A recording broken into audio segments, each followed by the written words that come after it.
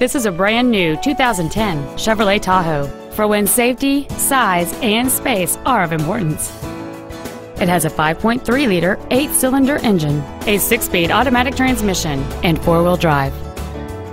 Its top features include adjustable driver pedals, front seat with memory settings, a leather-wrapped steering wheel, cruise control, an electronic parking aid, a CD player, a low tire pressure indicator, traction control and stability control systems, and it's easy to see why this vehicle is an excellent choice. Call or visit us right now and arrange your test drive today.